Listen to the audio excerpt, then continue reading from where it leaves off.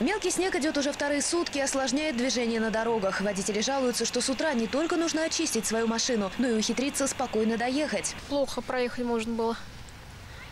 А вы откуда, да? Где живете? Ваш район какой? Боголюбово. В Буголюбово. Скажите, ну с чем главная проблема? Да, заметены и дороги, и выезды, да, или как? Ну и заметены дороги, и плохо посыпано, то есть под покровом снега на дороге скользко.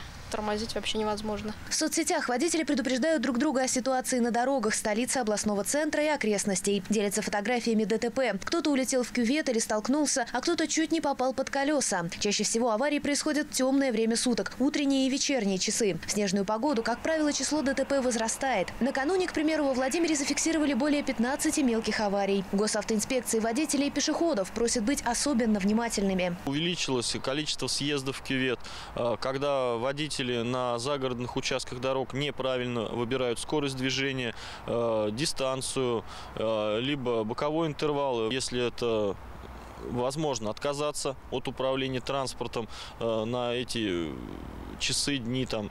А Также соблюдать э, неукоснительно требования правил дорожного движения. Ну а пешеходам, в свою очередь, э, обязательно в темное время суток использовать световозвращающие элементы. На борьбу со снегом в круглосуточном режиме выходят коммунальщики. От льда и снежной каши очищают как главные, так и второстепенные улицы города. Автогрейдеры работают и в присоединенных территориях. В утреннюю и дневную смены сегодня вышли 53 единицы техники и 70 человек в бригадах ручной уборки. По словам коммунальщиков, хотя бороться со снегом трудно, но они справляются. У нас прошли еще ребята, сбрасывают снег с тротуара.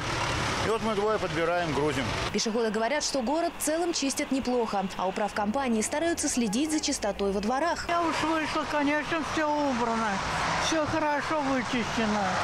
И, во- и вообще хорошо убирают. Без проблем, вроде, мне кажется, чисто, нормально убирают.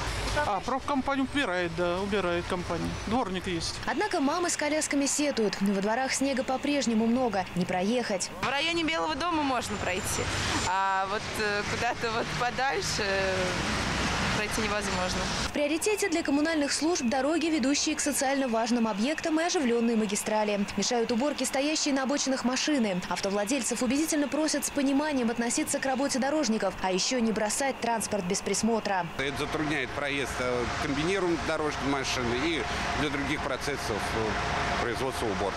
И днем, и ночью работают. Если в эту ночь, в ночь снегопада мы, у нас был пи- 52 единицы техники, из них 24 комбинированных дорожных машин. Как раз в ночь снегопада мы осуществляли все те мероприятия, которые необходимы. Это по сгребанию и подметанию, п- обработка противогололедных Глава администрации Андрей Шохин поручил контролировать зимнюю уборку улиц и дворов Владимира начальнику городского управления ЖКХ Алексею Шумнику. Если ваш двор плохо убирают, жалуйтесь в управкомпанию или ТСЖ. В случае, если гололед и сугробы появились на муниципальной территории, а их никто не чистит, можно позвонить на горячую линию Центра управления городскими дорогами по телефонам, которые вы видите на экране. Маргарита Махрова, Дмитрий Журавлев, Шестой канал.